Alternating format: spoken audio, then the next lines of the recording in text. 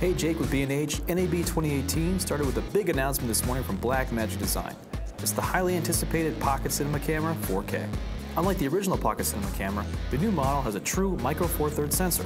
The Micro Four Thirds mount is now active, supporting electronic communication between the lens and the body. The Pocket Cinema Camera 4K has integrated dual ISO technology for improved low light performance and still has 13 stops at dynamic range. The camera now has two card slots for recording, one high-performance SD card slot, one CFast 2.0 card slot.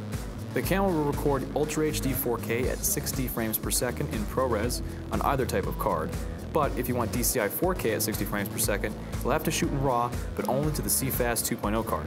You will also have the option to record directly to a USB-C solid-state drive using the USB-C output on the camera itself.